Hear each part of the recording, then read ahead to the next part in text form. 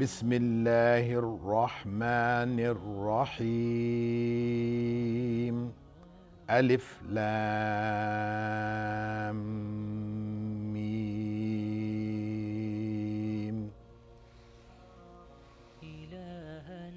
السلام عليكم ورحمة الله وبركاته The Messenger of Allah صلى الله عليه وسلم said Whoever recites a letter from the Book of Allah will receive the reward of 10 good deeds for it.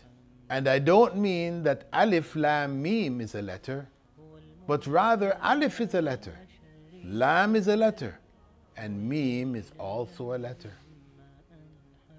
Subhanallah. The reward for reciting just one letter of the Quran is so amazing.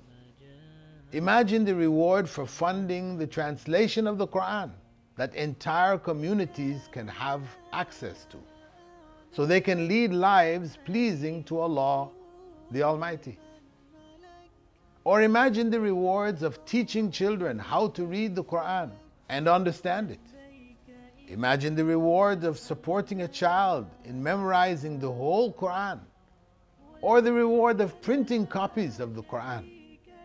Imagine the rewards on your scales when a person reads the translated Quran and accepts Islam.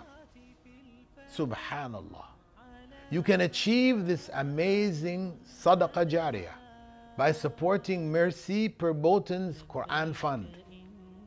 Miresi Per Boten are currently running Quran classes for over a hundred children in Albania, most of whom are orphans. They are also supporting the translation of the Quran for communities in Asia. In addition to this, they are running Quran memorization classes and also distributing copies of the Quran in the countries where they operate. Miresi Per Boten wants to increase their Quran support operation, the Quran Fund, and they need your help. For just one pound a day, you can be a part of this amazing project and earn ongoing sadaqah jariyah that will keep adding rewards to your scales of good deeds. Donate today to Miresi Per Boten's Quran Fund and reap the immense rewards on your scales of good deeds. Donate now and don't miss out. جزاكم الله خيرا.